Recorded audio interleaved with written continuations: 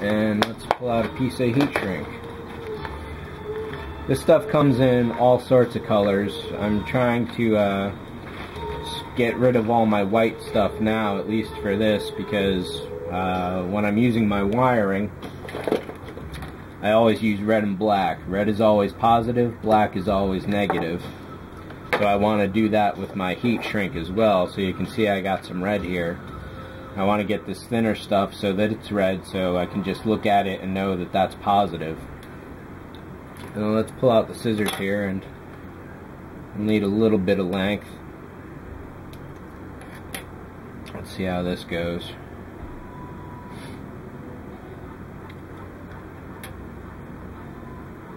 I like to cover up the entire section all the way down to the LED so that the negative terminal never touches the positive.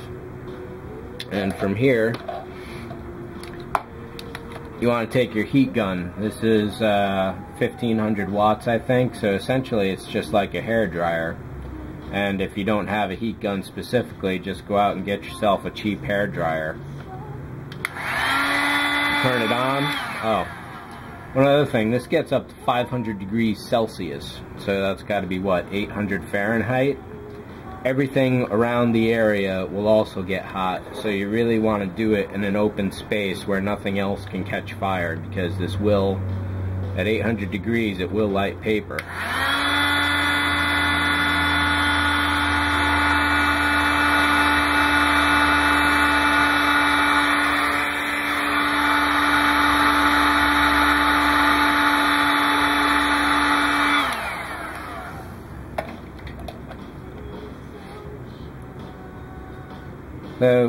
If the camera is going to show it, but that shrunk down pretty well and now that'll never come off. The resistor is safe, the connection is safe, and there's not going to be any problems. So what we'll do now is get uh, some random pieces of wire here. There we go.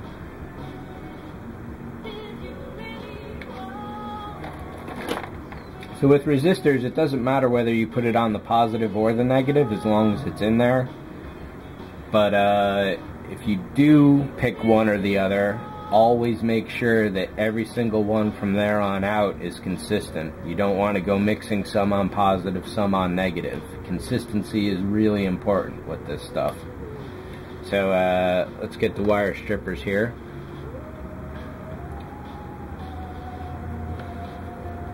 Now if you're doing this part right, there are people out here that can take a tiny little couple millimeters and wire it in, but I'm not so uh, dexterous or graceful. So what we'll do here, there's a few different ways to connect your wires too. I'll twist them around each other like that and then actually twist that braid again around the whole thing. I could have done this before I did all that heat shrink, and now that I'm thinking of it, I probably really should have. So again, uh, let's do all this uh, wiring first here. That's a little too thick, so we'll get a thinner bit of black wire.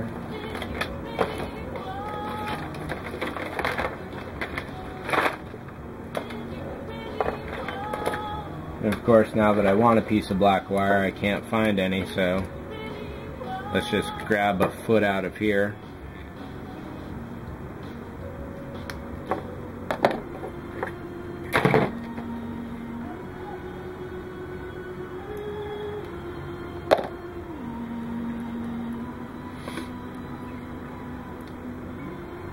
And we'll twist this up. Now this uh, wire coming out of the LED is much tougher than standard wire. So again I'm just going to wrap this around as best I can. And we'll solder that. Now let's put this in the alligator clip here. Heat up the gun for a second. And again once it's smoking you know it's hot enough generally speaking. So touch it to the back That's enough there. And that's enough there. I like to blob a little extra on. You don't really need to. There's some guys out there that'll just put a quick little dab and that's it, and that's really all you need. But, uh, again, like I say, there's a right way, a wrong way, and then there's my way.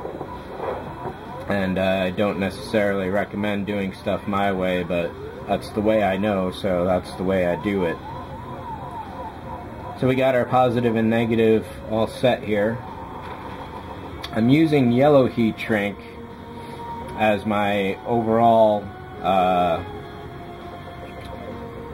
color just to uh, it's an alert sort of uh, color it's hard to miss and it's not black or red so it's uh, essentially I don't know.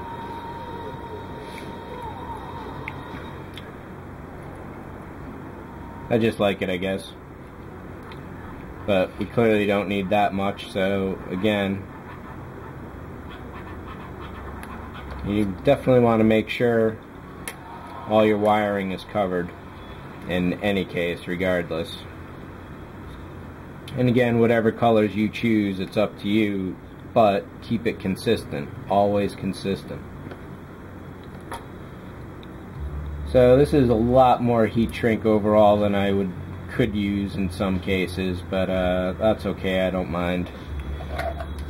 If you're going to be really conservative about it, then you can definitely use a lot less than I am here.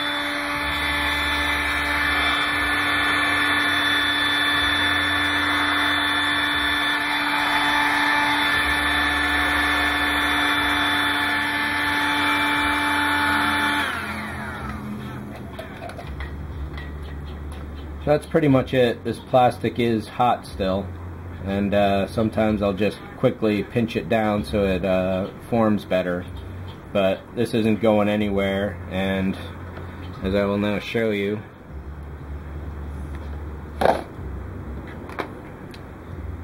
this circuit is still working is my bet.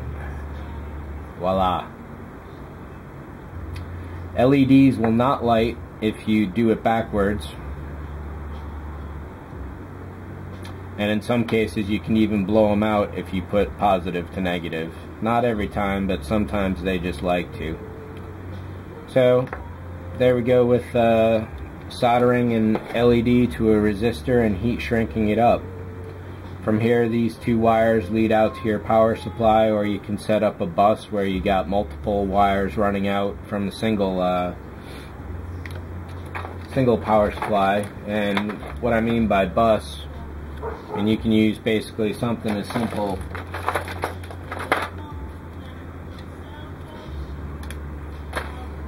And this little spring here can act as a bus.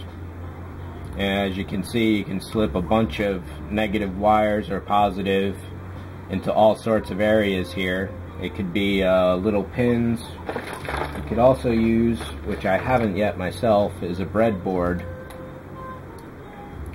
where everything going across is a single uh, circuit. So you would wire your negative power supply into this one and then the other three will act as a negative distribution path basically. So if I put my positive on the second one every other positive going in there will also wire up and then you just cut these supposedly. Haven't used a breadboard yet myself but uh, that's technically how they're supposed to work. And uh, what I'll do in the next video is show you how to hook this up to some fiber optics